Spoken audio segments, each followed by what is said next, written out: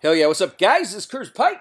My friends call me Big C. Back in action today, we're talking about bricking. That's right, guys, there's a brick problem.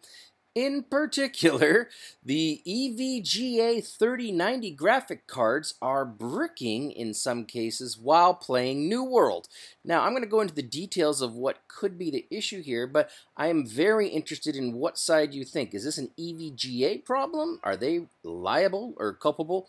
Or is this an Amazon New World problem? I actually don't know. Let me tell you what we know so far. On the EVGA side of things, there is a allegation, I haven't confirmed it personally, but apparently in some of their 3090s they used non-approved capacitors. So, NVIDIA obviously didn't approve them or they went around and they took a shortcut and yeah, well, the cards are bricking.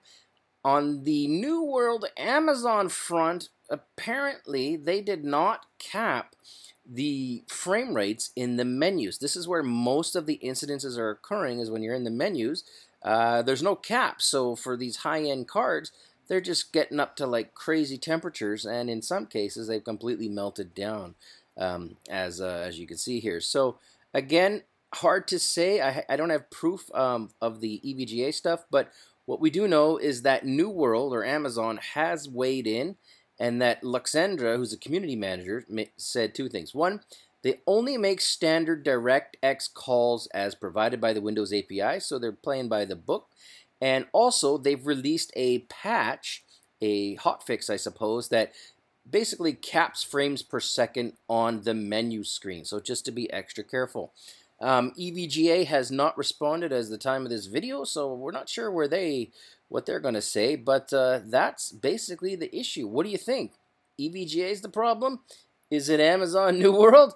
Is Bezos up in space and he should be down here taking care of graphic cards?